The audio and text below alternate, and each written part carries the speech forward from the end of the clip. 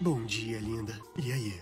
Dormiu bem? Você passou dos limites! Seu monstro! Kazuma, seu monstro! De tantas cenas cheias de zoeira de Konosuba, sempre tem aquela cena fofa e tudo mais. A Megumin agradecendo ao Kazuma por tudo que ele fez por ela foi muito legal. Mas como toda cena de Konosuba, essa também termina de uma forma engraçada. Eu só tava segurando a sua mão porque tá frio. Ah, eu acabei entendendo tudo errado. Ah, não, tá tudo bem, é sério. Mas eu acho que já passou da hora de você me agradecer, não acha não, Megumin? É, tem razão. Você foi o único que aceitou essa maga perdida que só conseguia lançar magia explosiva. Obrigada. Eu tô sempre causando um monte de problemas. Mas você ainda me mantém no grupo.